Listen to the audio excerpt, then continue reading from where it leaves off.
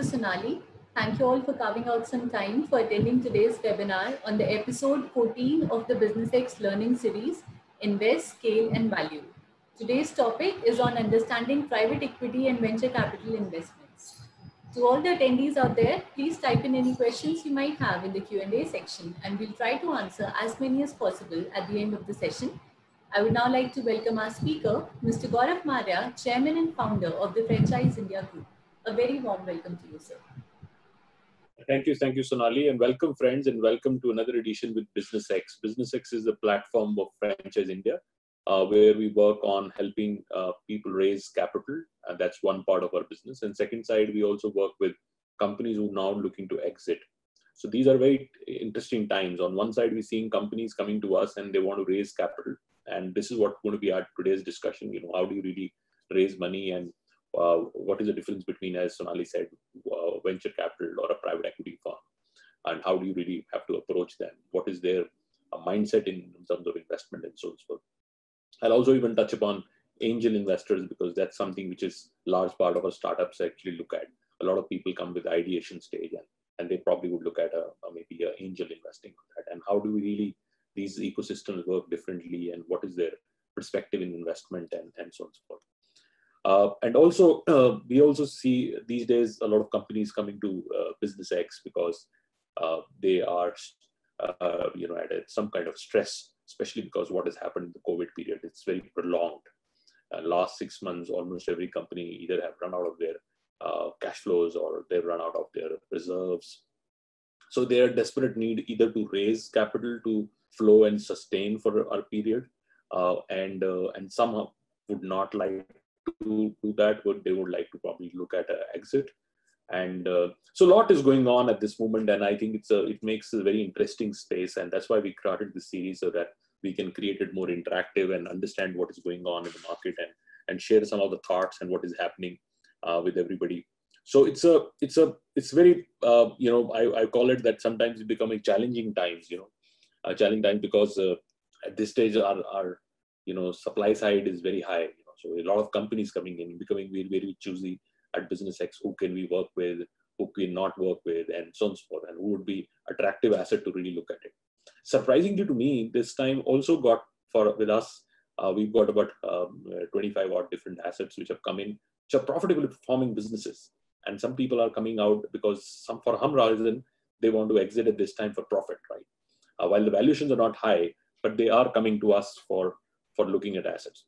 so what before we go into the next step, and I see a lot of people already joined in, it'd be interesting if you can go on a Q&A box and uh, introduce yourself in what capacity you're coming in. Are you a, a startup who's looking to raise the money? Are you a scale up, uh, which means that you've already gone to a maturity level, you have reached to a certain size. There is a, and I'll explain you what is the difference between uh, scale up, what what kind of companies would come into the scale up structure, and if you are already on a mature cycle, or even if you are company which for other reasons is now looking to exit. So go out and introduce yourself so I know what kind of a mix we have here and what kind of uh, answers you would be looking for your enterprises. So it will be help me for to really focus on that rather than giving a more theoretical information on, on business. It is always good to really understand. So welcome Anil uh, Prasoon uh, is a startup, uh, wish to be a scale up. So that's that's the good space, uh, you know, and uh, I feel that scale ups have a great opportunity at this time. You know, I, I would say that the, the priority sector at this stage is a lot of scale up. Startup is hard unless you have very something which is very destructive. Uh, while I think there is a still a, a, lot of angels out there who, who are ready to invest startups, uh, but uh, they are choosing very few real good ideas, right? So uh, capital becomes tight and becomes focused. Uh, and I can tell you that's where we are at this stage. It becomes extremely focused. It becomes laser focused today, and people are just now very clearly looking at some businesses to invest, and that's one we want what they would like to invest on. So let me read through. Uh, Dinesh, welcome. Is a startup, uh, a tech startup, and a consultant. Tech startup is always exciting. If it is a disruption structure. Uh, so Mr. Kulkarni is early stage. HR technology startup, bootstrapped, revenue generating. Revenue generating is good. Then you're already moving towards some kind of a structures. AI application with Anil. So that's that's a good. Uh, I'm a early growth stage. Uh, early growth stage is also uh, a good structure. So keep writing, keep introducing yourselves. A lot of people have joined in, so we would be able to understand. So let's understand that there are a lot of uh, you know ways you can raise capital, and and I I feel that uh, uh, know first uh, let me define the entire ecosystem. And in BusinessEx, we we divide the into systems into two types of assets, right? Uh, one are what I call uh, performing assets, and performing assets can be even early stage assets. You know, they might not have historical data of performance, but they are very promising assets, right? So they have a very clearly three to five year horizon being set. There are structured uh, growth paths in available. So these are to me very clearly performing assets. Performing assets uh, normally would attract financial investors. Uh, and uh, unless until it is a, it is a business which which has some kind of value addition with somebody who's very strategic also would normally attract a lot of financial investors. But there are also cases where it's a non-performing asset. It's not done well and it has somewhat of stress which is there. That would attract always a more strategic investor somebody who can come and turn around those assets right? And this can happen at any level right? At this stage uh, we will see a lot of uh, investments in uh, stressed infrastructure companies uh, you know a lot of uh, these you know real estate companies you'll see a lot of private equity money coming there because then the assets are good but for some reason they are stressed at this stage. It can be liquidity, it can be other challenges, and it can be turnaround. That there can be a shareholder value which can be improved. So there would be a lot of uh, strategic private equity investments which would coming in, and they also very focused. Private equity also are very focused in certain sectors. They very clearly go on a certain sector, and where they can they know there is a level of a turnaround they can do on that asset, and they can still uh, bring the asset back in the in the performing side. So very clearly, one has to really understand where you are and what kind of asset you really are are doing it. So let me see. Nidhi is a craft sutra. It's an interesting uh, connect Nidhi. Uh, so that's uh interesting. So uh, I would love to understand uh, on this asset because it looks very interesting how you use AR on and video commerce on on this. So these are kind of a future technologies, and if if this has been integrated in your in your business, that's very good. So and then we get into uh, the investment classes and investment classes also are different you know so people uh, at what stage you need to go to which kind of investor and how they really do that so let's define this uh, piece in a little bit of a theoretical structure and then we go into a little more into depth of discussion in terms especially post covid how how we going to approach these kind of uh, investors so large part of the startups would essentially go to early stage if you have no no background of business no background of performance uh, it's just a disruptive idea. A uh, little bit of a maybe performance has happened, but you're in an early stage, very, very early stage. Then only answer is angel. Angel, why? Because they, they normally are high risk takers. They're individuals. Uh, and they come normally come in groups. Uh, they are uh, a lot of angel networks. They, they normally network would decide, and there is a lead investor who would take a call. Normally, he would have a viewpoint on that domain. Say it's a technology or is a uh, bioscience or something like that, there would be some angel who would have some kind of a, a pedigree on that, but in very individualistic. And a lot of people along with him, without putting a lot of uh, due diligence on the business, they would go and do that. While at BusinessEx, we even if we get an angel to come to look at an asset, we say at least uh, uh, maybe a uh, 20, 20 hours of due diligence is very important for you to even look at a startup we have seen a lot of people doing very impulse retail investments. So they would just take a call, they would take a position in the investment in the company because the investment size are normally low. A typical investment we've seen in India uh, would happen anything from a say 40, 50 lakh rupees to about say three, four crores, which would be pooled between multiple angels, which would come together and invest that. Uh, because they don't put the kind of lot of legal and commercial cost and uh, due diligence and so on and so forth. So they normally would tend to give very uh, what I call intuitional uh, viewpoint on businesses they would invest. Normal parameter for them is to really look at industries which have a high scale story.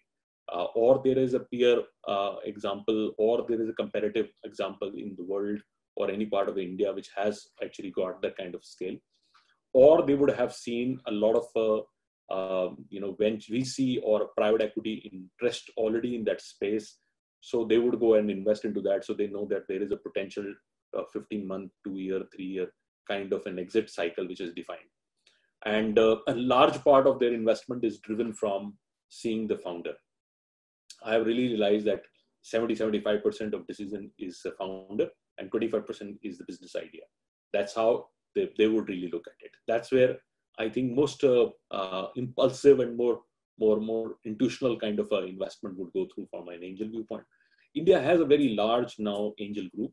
At this stage, I think a lot of them are shying away from investments because they don't see exits clearly defined. So as a founder, very clearly, if you are able to really demonstrate that part, at what level you will be able to give certain amount of return uh, back or exit uh, structure or show the equity growth of the business model in your business and how fast you will make the business sustainable and commercially proven that all would give a comfort for somebody to invest or there is a certainly a very disruptive area like uh, deepak is talking about uh, enterprise SaaS. You know, this is this is everybody is talking about that. So there are some categories which are absolutely top class in the business. Uh, you know, some industrial uh, industries are very clearly. While it looks like it's you're late in edutech, I still feel edutech is very interesting. I still feel fintech is still very interesting. If there is something disruptive available there. I still feel the health tech is very important, interesting. So a lot of these uh, circular economy is very interesting.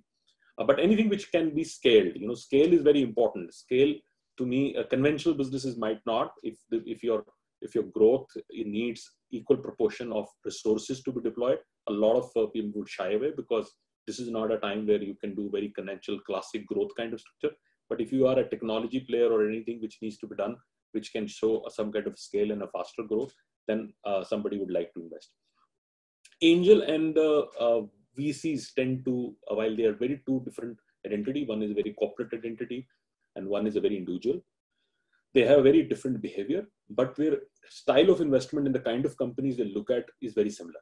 So uh, essentially, they would like to look at companies which are very, very high scale of growth, largely something which is uh, technology, a new sector, emerging sector, uh, futuristic uh, uh, uh, businesses. So these are kind of categories they would look at. And but they have a very different approach of investing. One is a very clearly professionals, investment professionals who understands investment, they would go and put a lot of parameters in terms of doing a right DD on the uh, the asset and then making a call on that because they're not carrying their own money, they're carrying uh, monies coming and raised from you know independent other investors, what we call the you know limited partners. So they have raised monies from uh, back from pension funds and other things. So they these this is a fund. So obviously the responsibility of professional is very different to an individual who's investing on the entire thing.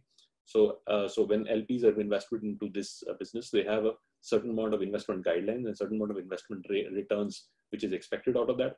So they would VCs would invest very differently uh, in and approaching that. VCs are normally also have a very big uh, difference in in their approach.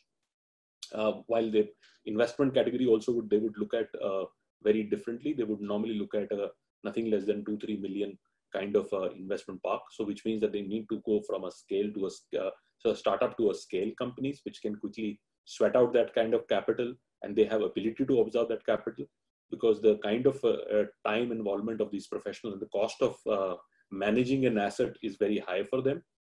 And uh, so they would like to see a company reaching that. A lot of people have done mistake.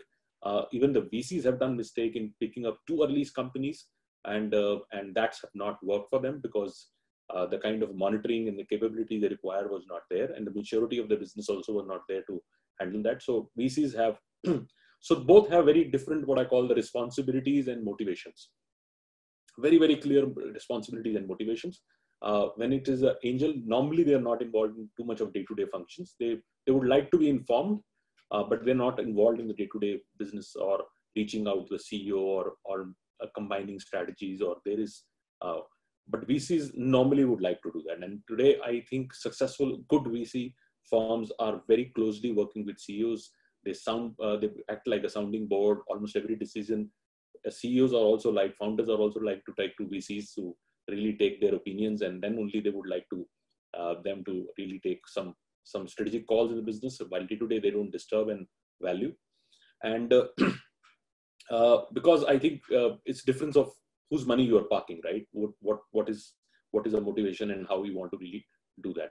So that's how uh, angel and a VC would would really uh, differ in terms of doing it. Uh, VCs also would have their life cycle to really see how they're going to find an exit. And normally they would uh, like to see the business uh, reaching a certain benchmark and goal sheet where they are able to uh, uh, find this entirely. Uh, VCs would always keep it tight for your company's strategic focus because sometimes they don't let, while when you are with angels, you have a lot of freedom to go through and a lot of changes and evolve in uh, and your business model and if the business model what you thought would work and you still want to change that model you're much easily able to do that. But as you go to a vc then it becomes even more tighter. I've seen a lot of businesses gone down uh, where there was a conflict between the way the business was to run and the vc's opinion on that. Uh, because now you have a mandate raise uh, you have done and deployed money and there is a certain amount of control they would like to seek and versus uh, uh, doing that while vcs don't like to take a large play in the businesses. They would like to have a very, very small play uh, in the business, but they would like to really keep the company's strategic focus uh, very, very clear. And that's something which is, especially in India, I think uh, because of the lot of experiences people have got, like especially in, in almost look at the food space, uh, quick service restaurant space, other space, almost all VCs have burned money, right? So they have almost, almost everybody has taken haircuts. So they become extremely conscious. Uh, some sectors in India have been uh, very poorly performing in uh, as far as the venture capitalist is concerned. Now, this is what the broader difference would come between the uh, the so to say you know angel and a and a VC. Now, look at another comparison we will do, which is a more private equity and VC. Now, while their investment style is very same, you know, the both would would go and raise uh, monies from the same LPs and and they would uh, raise money, which we call the private market play. So uh, just to give you, uh, think India still is very far for how much the influence private market would have on uh, on uh, Indian economy. But if you look at an economy like US, which is very mature, 25% uh, of the total economy would be controlled by these private market players. So pretty much between the VCs and the private equity funds, they would control 25 to even more uh, the entire economy of US. So which means a lot of brands and a lot of businesses around you, you will see they would have a very strong uh, participation of these two entire things. So it's a very, very big number. We're talking about $27 trillion uh, American economy and we can control 25% above uh, by this private market. And then you have public market, which is listed companies and so on and so forth. Now, these companies have, again, very different approach, uh, both from investment viewpoint, the kind of companies they approach, the kind of sectors they approach, and so on and so forth. Very clearly, um, but the VCs would stay in the same style like I discussed with on Angel. They like very fast growing companies, disruptive technologies, uh, and so on and so forth. So they would like to be participating there. They normally would like to hold minority, uh, uh you know, uh, the smaller shareholdings in the business and let the promoter and the uh, uh, company run by them. On the private equity side, they are not really industry, so to say, centered. Sometimes they are, some are very infrastructure focused, or some are funds raised for a certain particular thing, but largely they don't need to do that. And they don't really go only on high growth companies. They are also available for a lot of conventional uh, classic old businesses uh, uh you know redundant businesses uh, something which is stagnant businesses.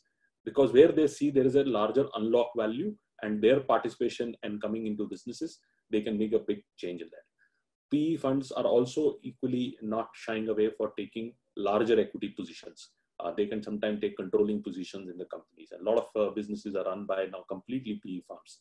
Uh, so there are big funds which runs, uh, I mean, there, there's a fund out of UK which is runs about 78 global food brands uh, where they pretty much run the complete businesses. And they, they have a large fund which is running multiple businesses. And as the businesses, they would be able to turn around each asset. They would take that asset out and either sell that asset independently or list that asset independently or see that uh, whatever logical way of uh, I think so. These funds really are a little bit of a control freak. They they like to participate more and more uh, into taking control of businesses, and these can be businesses across sector. You know, so you see a lot of real estate play uh, controlled by funds, uh, a lot of infrastructure play uh, controlled by funds, a lot of uh, other assets controlled by them. so this is where they would largely work on that so they are very different from VC and private equity firms are uh, extremely different in terms of how they approach things. So the types of companies, as I said, uh, kind of company invest on, they would be very, very different. They also have very different levels of capital investment. uh, a PE can do in the same asset multiple rounds of investment uh, to just quote and take the position better on the company. Uh, they they also have very different objectives to achieve on on businesses and life cycles to achieve on the entire thing. And as I said, there is also a different involvement in the company's life cycle. So they are very very different from a, a perspective of that. uh, so this is what uh, essentially would be done in terms of uh, uh, you know uh, while they both would have very different uh, uh, similar kind of goals to which means that they would certain time would like to exit that asset and and bring liquidity back and pay off their their investors which kind of returns they've committed.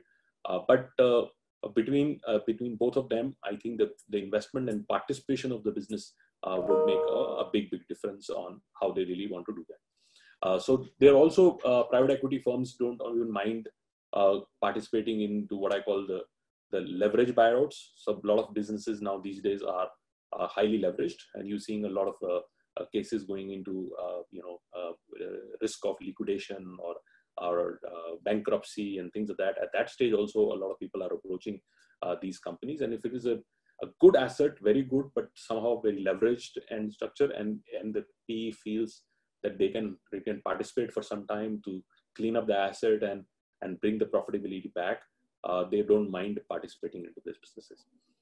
But last uh, uh, six months, the whole environment has become a little bit of uh, scary because of uh, a couple of reasons. One, uh, the predictability of performance of these assets are becoming more and more challenging. So these days, when we talk to any of these investors, I mean, we talk about angels or VCs or private equity funds and things like that.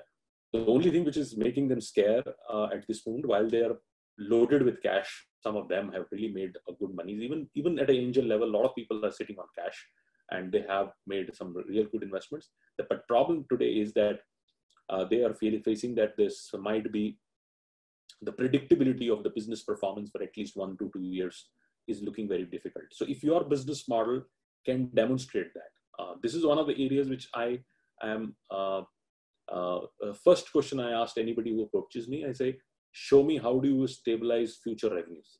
The only one question is my starting point.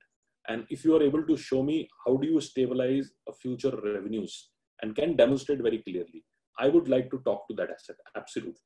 But a lot of times we talk about every other thing, but we don't talk about how do we really able to stabilize this. And especially in these difficult times, how do we really able to answer this is very important. So, so that's what becomes a starting point. So understand your business well, go into depth of business modeling and define that how do you going to it and how much time it is going to stabilize that.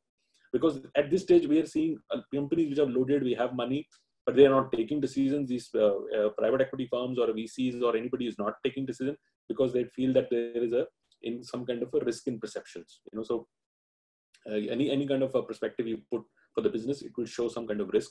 And because they are running somebody's money they are not interested to do that some are proposing flexible structures. Flexible structures which means that some kind of a, a structure can be done, which is kind of a fixed return uh, and uh, and participating in equity. So there is they want to do some kind of a balancing between certain fixed performance and certain structure, which also is very complex because then you need to really create uh, different kind of instruments. Uh, which normally sometimes they would create an interest-bearing convertible instruments, uh, which means that they would need to structure some kind of a basic performance of interest but eventually it can become even more complex unless and until they are able to do that. So uh, so they, they they want to do the risk adjustment. You know most of the companies would like to do some form of risk adjustment uh, in terms of that they are able to really do that. So you need to understand at this moment if you are approaching any of these three you need to first demonstrate in terms of what is the kind of a uh, you know a predictability you can show on your uh, cash reserves. On most important other side is that how do you really make sure that you are able to give some kind of a risk adjustment? Uh, I, I, think this environment would stay like that unless and until you have something which is which is outstanding and and there is a certain requirement and there is also a future buyer which clearly is demonstrated out there uh, which also is very important because sometimes you have a very category which has a clear demand from a future buyer or a future aggregation or a future consolidation in the market which is very clearly visible right? In some sectors i clearly see like in edutech. I can clearly see that uh, there would be more and more acquisitions. They would continue to do more acquisition because everybody is looking for a larger pie and uh, acquiring this subscriber base. So so different categories, the big would even bigger and the bigger. And so so exactly what happened in the e-commerce space. So all the small small companies would get merged into becoming a larger giant. So similarly, all these disruptive technologies which are going out, if you have something which you have entire thing, I always say create your cluster, create your entry barrier. Don't go everywhere. Like there are companies who are coming to us. I'm, I'm only focusing on coaching. Somebody's coming and say, I'm only focusing on this. I'm only focusing on test prep. I'm focused. I say, go deep down into that. Create your subscriber base, get maximum share of that. And once you are able to get to a critical mass, there would be somebody who would come and acquire.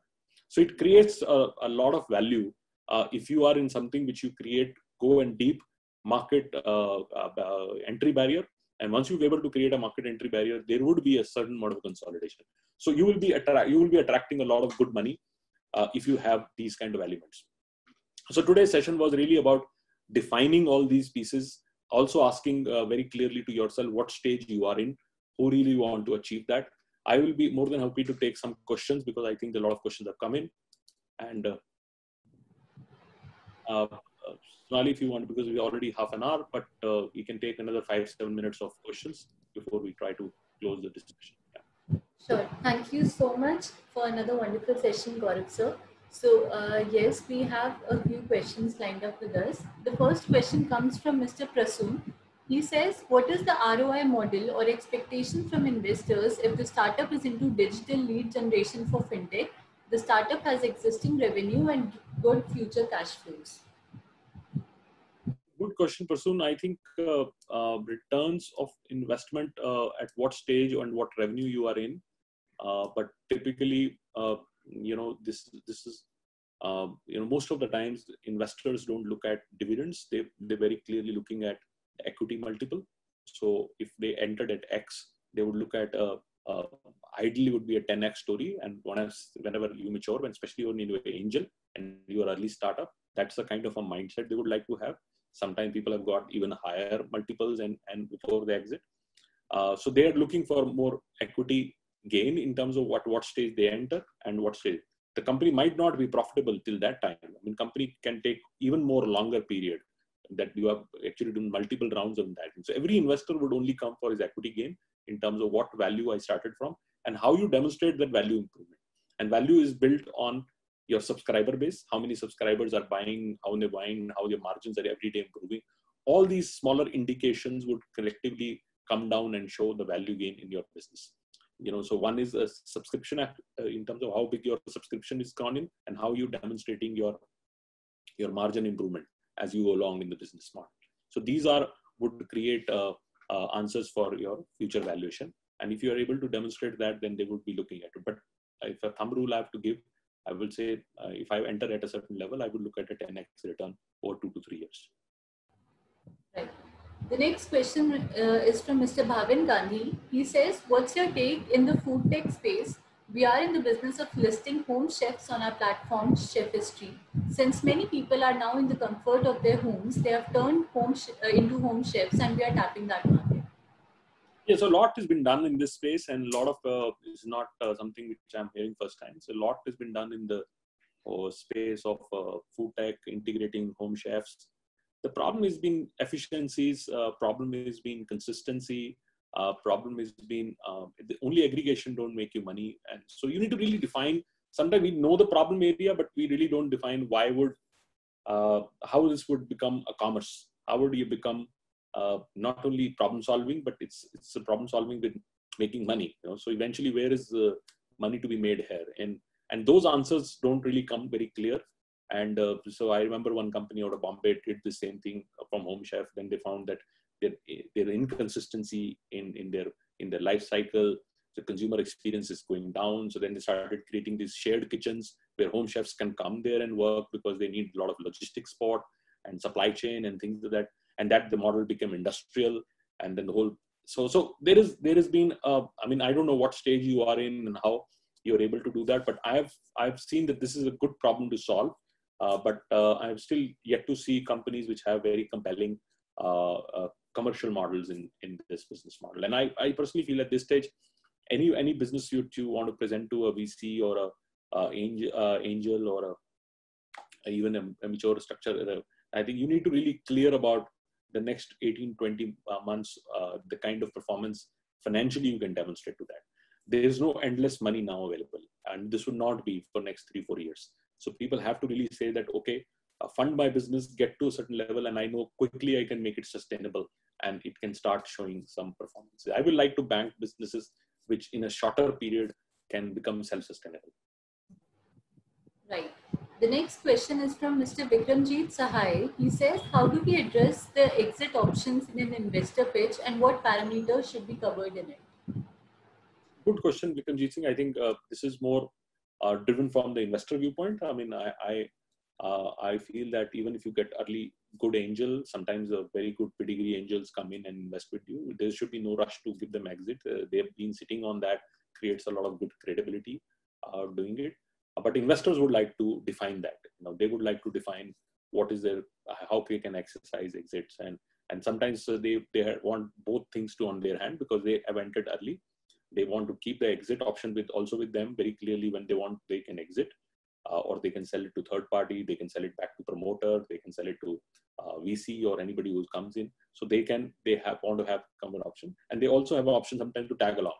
They don't want to exit sometimes or they would uh, partially exit and partially tag along.